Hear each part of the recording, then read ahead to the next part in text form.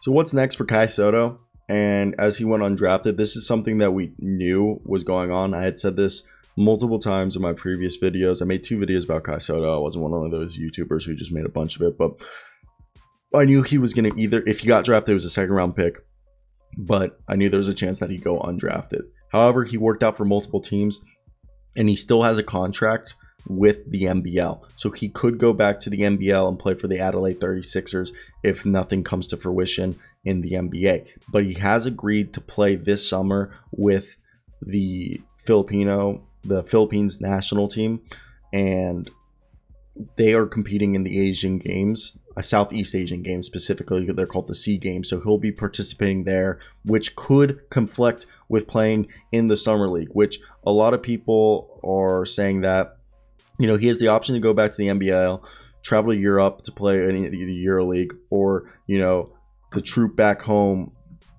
Ooh, did my frames drop?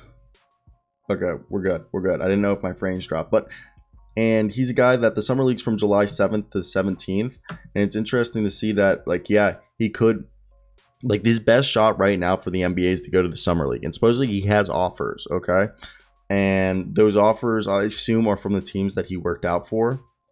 And he worked out for the Kings, Hawks, Cavaliers, Knicks, Magic, and the Pacers. So those are all the teams that could go after him. I mean, the Kings, the Hawks, the Knicks, the Magic, and the Pacers all seem likely. I mean, the Cavs have so many centers that I don't see them giving him a two way. But Joel Bell, his agent, said he would not take part in the summer league. But there's still a chance because he supposedly is still undecided and has made no decision yet, as his agent said he previously misspoke about that and that he has not made a decision to play in the Sea Games as well as the FIBA World Cup qualifiers. So that all is very potential, you know, that he goes over and skips the Summer League to play in the FIBA World Cup qualifiers for the Gilas Filipinas. So hopefully I said that correctly, which is the name of the Philippines national team. I personally think his best thing is to try the summer league. If he doesn't get a two-way contract or a deal from the summer league, go back to the NBL or to Europe and just don't play for the national team this year. I, I just don't think it's the right move because for him right now, I think what's best for him is to try to show NBA teams that he can be an NBA player.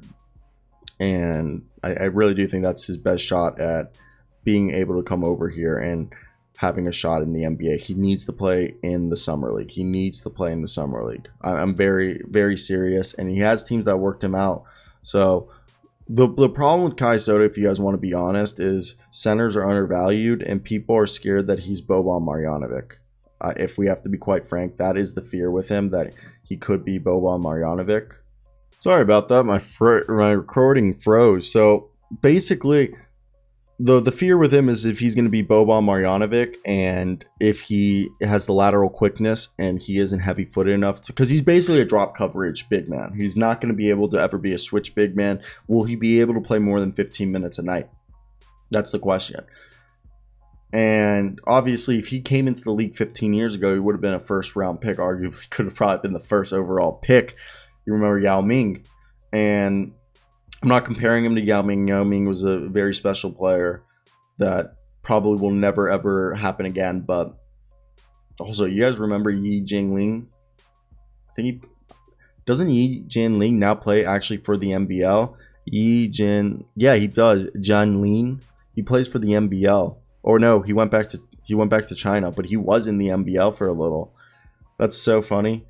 So no, he didn't actually ever go to the NBL. My apology. I thought he was in the NBL and he had gone over there, but I guess he didn't. But he ruptured his Achilles. He, do you guys remember? He, he actually tried coming back to the NBA in 2012 with, not 2012, 2016 with the Lakers. You guys remember that? That was wild. He signed and then he just went back to China after signing a one year, $8 million deal.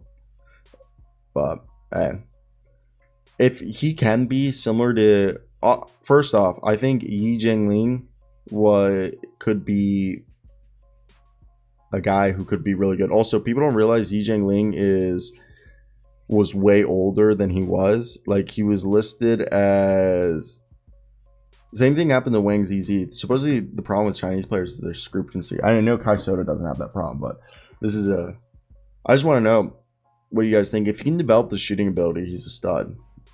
But yeah, so basically that's all I have to say about our man. Go check out Kai Sotto, go to the summer league, show that you're worth it, and you'll make it into the NBA. I'm not even kidding. That's what you need to do, and I really hope it happens. Okay, but besides that, I want to hear your thoughts down below in the comment section. What you guys think of all this? What do you think needs to be ha- happen?